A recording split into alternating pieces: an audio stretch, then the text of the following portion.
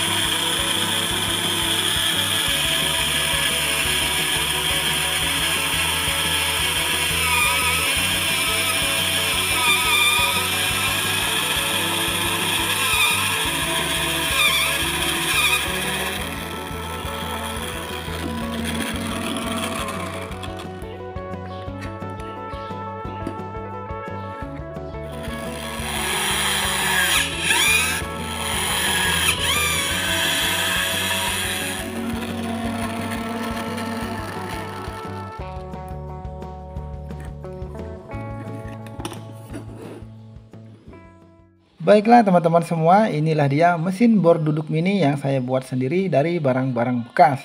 Meskipun ukurannya terbilang cukup kecil, namun mesin bor duduk mini ini memiliki kemampuan atau kekuatan yang cukup mumpuni dan sudah dilengkapi dengan fitur pengunci untuk membuka kepala bor atau untuk mengencangkan kepala bornya dan sudah dilengkapi dengan lampu LED sebagai penerangnya. Nah, sekarang mari kita coba untuk menghidupkannya. Ya, untuk sumber tegangannya di sini saya menggunakan adaptor dengan spesifikasi 12 volt 2 ampere. Nah, sekarang kita coba on kan. Ya, di sini lampu LED untuk penerangan sudah aktif atau sudah menyala, teman-teman. Jadi dengan adanya lampu LED ini bisa membantu penerangan saat kita melakukan pekerjaan di tempat yang kurang terang, teman-teman. Semoga dengan video ini bisa menginspirasi teman-teman semua dan jangan lupa dukung saya, bantu tekan tombol like dan subscribe. Terima kasih.